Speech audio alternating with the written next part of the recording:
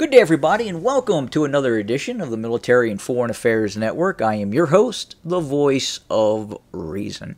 Today is part two of our ongoing coverage of the war between Ukraine and the Russian Federation. So I left off uh, discussing casualty rates and how it is affecting the uh, ongoing war efforts uh, for the Ukrainians. Higher casualty rates, meaning less people are willing to serve in the military which is causing an issue for the Ukrainian military. The uh, Russian military, on the other hand, while having challenges in regards to the recruitment of personnel, it is still recruiting 20 to 35,000 soldiers per month to serve in the military. Again, I've talked about this before. You do the math over the course of 12 months, 10 months, what exactly that looks like. Now, remember, uh, those fighters uh, probably will not, those soldiers will probably not be available for frontline duty for about four to five months if you train those individuals adequately. Now, remember, going back into World War II, those rates were much lower in terms of the requirement for, for training. War has changed. War is different now. A lot more technology is in play at this point than World War II. And I understand I have compared and contrast World War II to this conflict, and I've been called out on that. But you still have to look at history. You still have to look at the perseverance of Russia. Forget it was the year 1940, 1942, 1943, 44, 45. At the end of the day, it is the perseverance of the Russian people. And remember, much of Ukraine was occupied for an extensive period of time by the German military. So it was the Russians. The Russians were doing, by and large, most of the fighting. Now, going back to this conflict, I had mentioned the possibility of the conflict lasting four years, and I received a very, very quick uh, comment on that. Essentially, if you look at the math, that is that is impossible. It's not. War is just not about raw math. If you take the Ukrainian population, whatever that population of, of fighting age males is right now, compare and contrast to the Russian uh, population of fighting age males, and then you get this this number. There's a lot more that goes into that. Goes into strategy, technology, the competency of generals on both sides. Now, if the war lasts four years, does that mean the Russian military is incompetent? No, it doesn't mean that. It means that the Ukrainian side is getting help. What would this conflict look like if we had not seen billions upon billions upon billions of dollars being infused into the Ukrainian economy and the Ukrainian war effort by the West? I would argue that the war would probably look much different. Don't you think? Now, four years. Is that a long time? Should the Russian people, should the Ukrainian people brace themselves for a four year war? Absolutely. Absolutely. If we look at past wars, if we look at the Iran Iraq War, the Korean War, to a lesser extent, World War II, I would argue that this war, the Russian Ukrainian war, is on par with some of the greatest conflicts we have seen in human history. The media is doing a very, very poor job of covering the conflict, so it's difficult to see what's happening on the front lines. It is a brutal conflict. And go back to my earlier videos where I was covering the lead up to war And I said this was going to be, if it in fact happened, I was still speculative in terms of if it would happen, knowing the ramifications for both sides. And it has happened.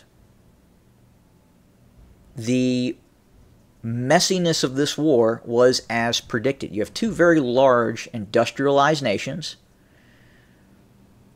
Ukraine is a very large nation, both size of territory and population.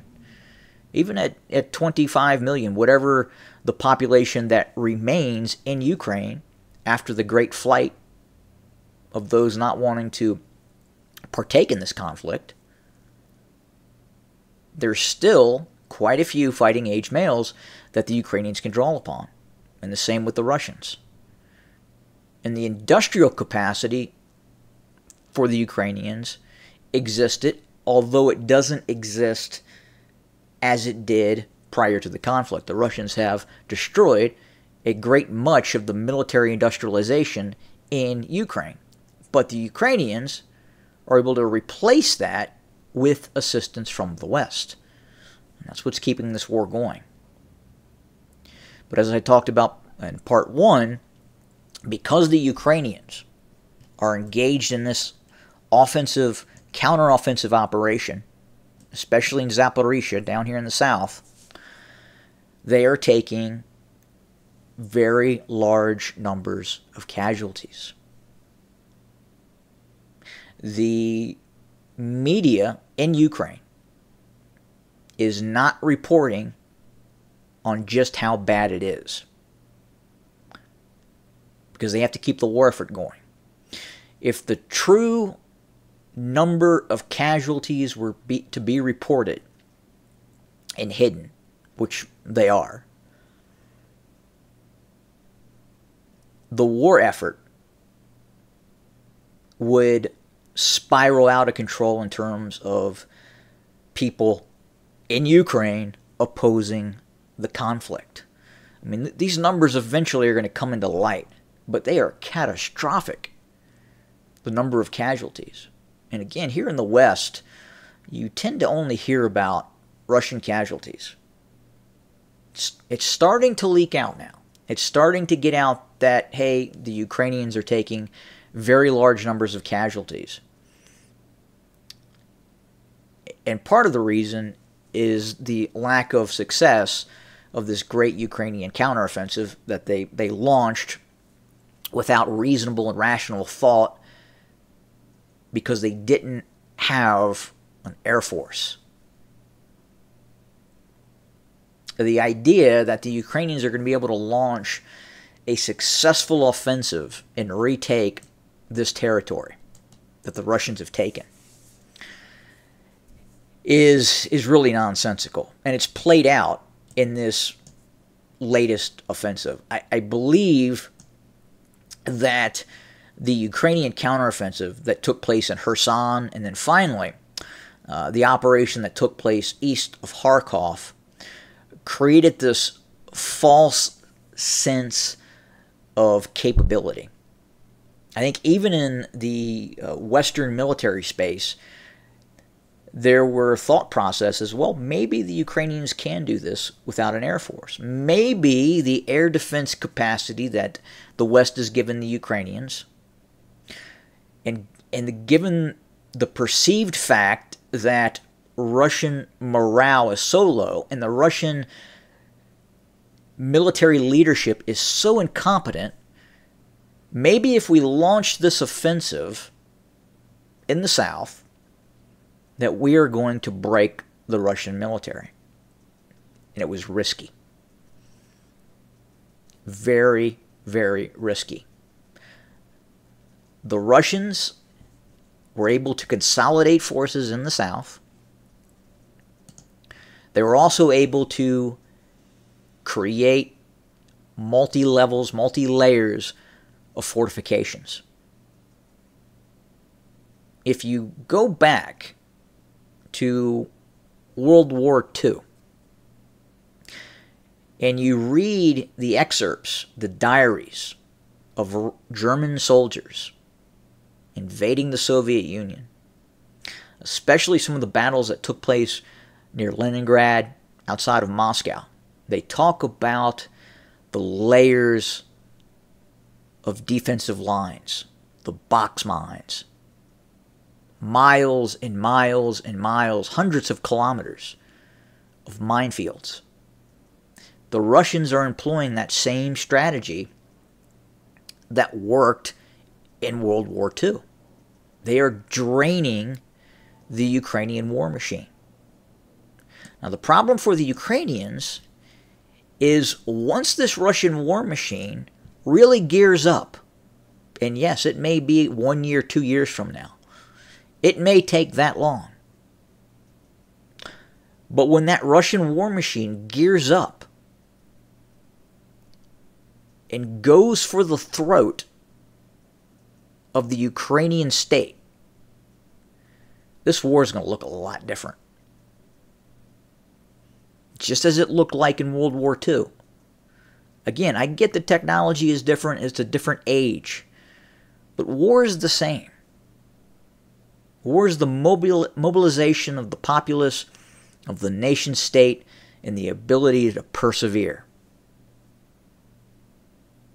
Will the United States still support the Ukrainians a year from now, two years from now?